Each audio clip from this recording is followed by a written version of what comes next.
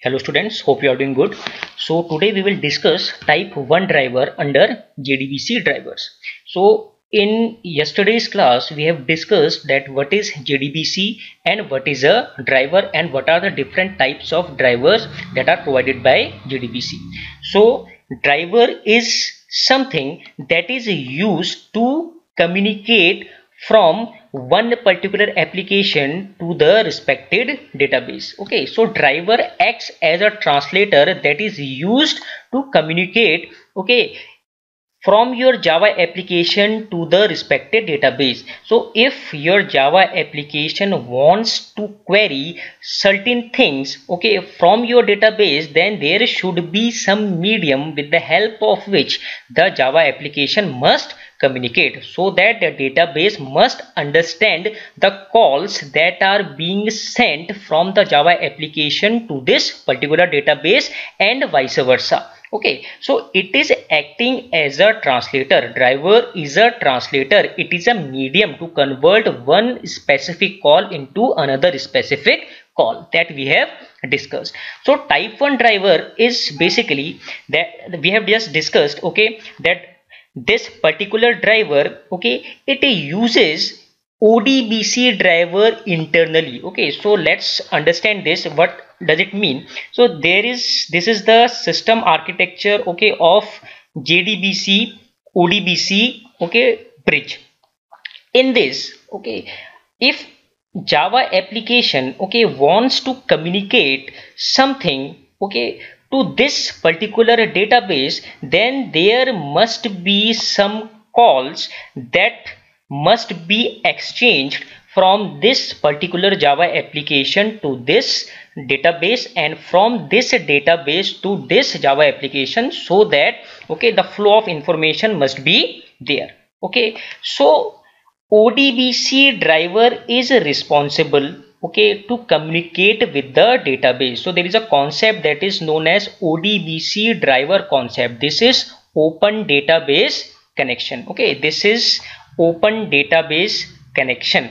So what it does okay it is the responsibility of the ODBC driver to communicate with the database. So it is the responsibility of ODBC to convert the ODBC calls to the database specific calls and it responds okay from it takes the input from the database it it converts you can say the database specific calls okay to the java application to the to some calls that is being okay that is being decoded that is being understandable by this java application. So now what happens? If my java application okay that comes with okay this jdbc comes with this java application. Okay it is inbuilt. It is a part of this java application. If my java application wants to send something then it must send in the form of a jdbc calls. Okay so this jdbc calls must be converted into the odbc call. Okay it must be converted so that this odbc driver can convert it further to the database. So in order to convert internally type 1 driver okay is there okay that uses this odbc driver. So it is the responsibility of type 1 driver okay? So this odbc driver you can say it is hidden inside this type 1 driver. Now it is the responsibility of the type 1 driver to convert the jdbc calls that is being transferred from this java application to the odbc calls okay? So the jdbc call is converted into odbc call for the odbc driver with the help of this type 1 driver. So this type 1 driver is acting as a bridge between JDBC and ODBC as you can see. Okay this is a bridge that converts the JDBC calls from this Java application to the ODBC calls that must be understandable by this ODBC driver. And further this ODBC call is being converted to the Java to the database specific call so that this database can understand what instruction is being provided by this ODBC calls.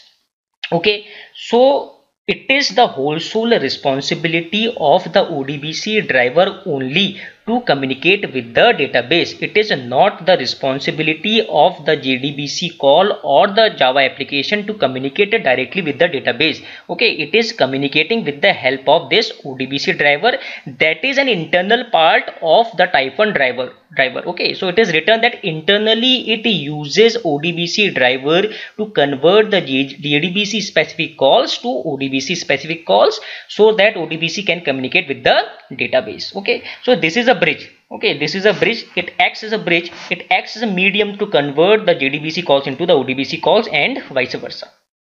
So the main advantage of using okay this type 1 driver is it is a part of a jdk okay there is there is no need to install it separately. It is a part of jdk it comes with the jdk there is no need to separate to install it separately okay? So this type 1 driver is being is being provided by it, it is being provided by the sun microsystems okay? Sun microsystem first designed this type 1 driver. So the main thing is that this particular driver okay this driver and this java application must be installed in a client machine okay? This is mandatory that this driver and this java application must be present in the client machine okay? And this driver is independent of database okay? Because it is not communicating directly with the database. This is communicating with the help of this odbc driver because these JDBC calls are being converted into ODBC calls with the help of this driver. So it is you can say it is indirectly communicating with the database. So this is a database independent okay so now the main disadvantage of using this type of drivers is that the performance is degraded. Okay so nowadays these type 1 drivers are not used. So how the performance is degraded? You can see that there are different levels of calls that are being exchanged. Okay first the jdbc call from the java application is converted by the driver to the odbc call so that the odbc driver can understand. Again the odbc calls are being converted into the database specific calls. So there are two levels okay two levels of calls that are being converted. As a result of which okay the processing is very much okay the process the processing time is increased and you can say that the performance is degraded. So it is one of the slowest type of drivers out of the four driver. So type 1 driver is very much slow and it is now been deprecated. It is not used nowadays okay.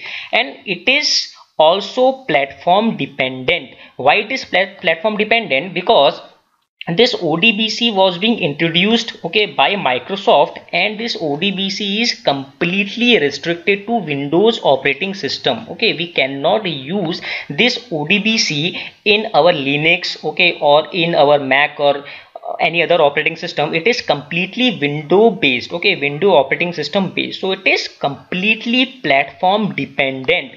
That's why these the support for this type 1 type of drivers is now been deprecated okay till java 1.7 it was used. So from the java 1.8 version the type 1 driver is being deprecated. It is not being used. The support is now being deprecated okay so what is the advantage of this particular okay the advantage you can see the advantage is this particular driver okay it is database independent okay. So you can say it is very much easy okay to migrate from one database to another database okay. You can migrate from one database to another database easily. Okay migration is easy because the JDBC type 1 driver is database independent. Okay so completely ODBC driver's responsibility is to communicate with the this particular driver this particular database. Okay so thanks. And in the subsequent lectures okay we'll just see some other type of drivers